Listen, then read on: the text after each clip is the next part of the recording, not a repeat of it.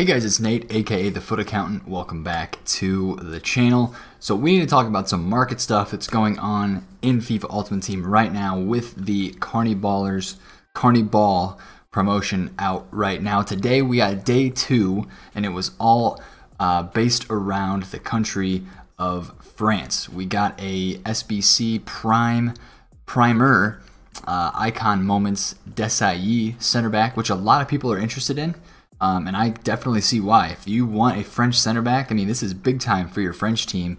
Um, a center back guy that's going to get a green link to any French player, going to provide some good links there. And it's a, honestly a pretty cheap icon SBC. If it's not one that you would want to do now, um, I mean, this is the type of SBC that you could easily do later in the year um, as team of the season is out and you're doing a lot of upgrade packs with the, the coins you have in your club or, you know, the coins you have. When you get those team of the season players, they're just very high rated if you pack them untradeable. Uh, this is kind of one of the SBCs that I'm going to be looking to do since there is no time limit on it. Uh, during team of the season later down the road, just because it's pretty cheap and easy. 88 rated, one team of the week. I think you need two team of the week players four team of the week players for this entire squad, two of them for the high rated, uh, and then obviously an icon. So I think this SBC is pretty cheap, and I think a lot of people are going to end up doing that SBC. But we also got the um, Benjamin Mendy left back card today, and I think a lot of people are going to do this SBC. Actually, let's head over to Futbin and take a look at the market graphs to check this out and see if people are doing this SBC. Um, so the market index 100 definitely climbed up today and I'm guessing that's because of this SBC. Let's check the index gold because that's also a good indicator if people are doing SBCs. Uh, yeah, see that was up from about 48 points all the way up to 53. With a, a lot of the guys going up being SBC cards. A lot of those, some of those are kind of coming back down now. But let's go into active challenges and check out 186k. So this has gone up. Um, yeah, you can tell that people are doing this SBC. There weren't lightning rounds today, which I kind of thought was interesting. I thought we were going to get another set of lightning rounds, but um, that honestly, if you think about it from a trading aspect, that might make these Carniball cards more interesting to trade with. Um, so they got some decent supply first day, and there are promo packs in the store, but there's not lightning rounds, so they're not going to get as much supply, um, these special cards, as they would if there were lightning rounds every day. So this SBC was about 170k right off the bat, 160k, and as you can tell now, it's 187. You can't see it. It follows my screen when I scroll up and down, but it's about 187,000 coins for this Benjamin Mendy card. There it is right there. Um, so continue that card, that, that price of that SBC can uh, probably will creep up to about 200,000 coins just as people continue to do it and as we get more SBCs throughout the week um, that price is going to go up. Let's actually check and see if Hulk has followed that same path. He was 220 right away. He's kind of stayed around 220, jumped up today big time 240 250. Um, but that's a little bit lesser desired card than this uh, Benjamin Mendy card, which if you need a French left back in your team, you know, he's pretty good. The stats on that card, I think they look pretty good. I haven't looked at his work rates. High medium, that's okay. He's a lefty. Um, he's got the good sprint speed, he's got the great crossing, good stamina, he's got good stats, good strength as well. So I think a lot of people are going to do this card as a French left back from the Premier League, Man City. That's links everywhere um, to a lot of different things. So we saw a lot of panic selling today because of that. I mean, I feel like this is like the third time we've seen um, Inform Robertson, uh, Robertson, whatever his name is. Like he's crashed so many times this year and it's all been because that left back position in the Premier League is just so very rare and sought after. I mean, this card was like 260,000 coins, and now he's down here at 168. 168 for this card. So, um, will he rebound? Absolutely, he will. Um, just because he's a left back in the Premier League, he gets a green link to Van Dijk. People have been using this card all year. Um, so, and it obviously it's actually dipped cheaper. Now I'm more interested in it because it has fallen lower than the price of Mendy. So as this card gets lower and lower in the panic sell, which it shouldn't continue to get too lower, um, if it goes to 150, I will definitely start to think about buying these. Probably buy one or two, not too many of them. Just kind of stick one or two in the club, one on the transfer list, and go from there. But uh, think about this again. What other items would have been panic sold today because of the left back Mendy? Um, and you guessed it, the other Mendy, Ferland Mendy, who I have in my team as a left back, and I would venture to say is probably one of the best left backs in the game. I haven't tried Sandro. I have used Marcelo, team of the year, but wow, 255 for this Mendy card. That is ridiculous. Um, he hasn't been that low since he was in packs. So if I can catch another one of these on bid for like under 250, that's another one I definitely think would rise back up uh, in the rebound just because he is French and he has better stats than that the Mendy card, the Benjamin Mendy. Uh, he has better pace, uh, a little bit better stats all around on the defensive side, and he has a five-star weak foot with four-star skills. And he's just a freaking beast in game. I mean, I absolutely love that card. So, again, as I talked about in my first video about Carniball, this is something that we can expect every single day. We can expect these substitute goods to come onto the game. We can expect tomorrow I think Belgium is the nation they might be coming up with. So we might be getting a flashback from Belgium because there aren't any uh, Belgian icons. But let's say we get a flashback Belgian. People are saying Kompany, maybe Nainggolan. There's a lot of different options.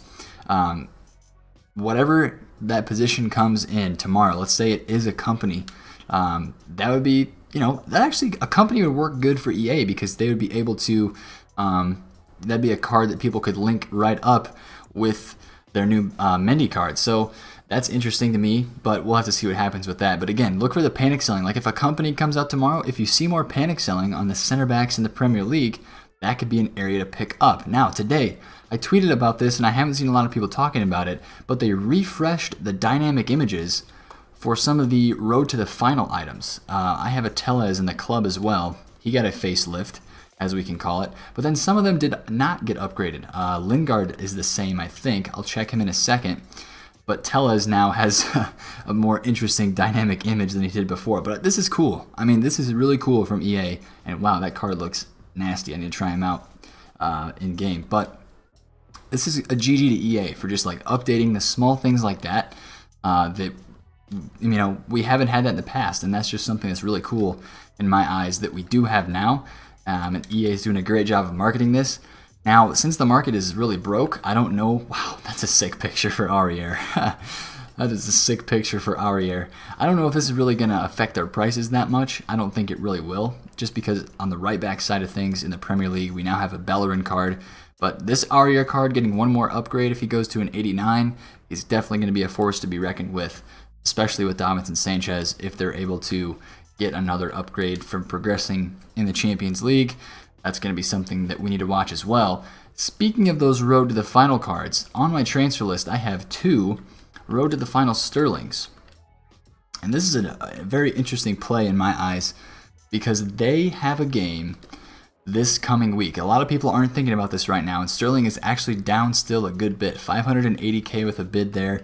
I'm getting mine. Ooh, that's closer to my range. I'm trying to get mine for like under 560 or 550. For this card, a lot of them I've gotten on bids, uh, but that card was 650k just a couple weeks ago in the hype, and he's going to rise back up into that hype. He could get an inform this week. He should get an inform, and that inform would be 90 rated, and it would be a left wing card, I do believe.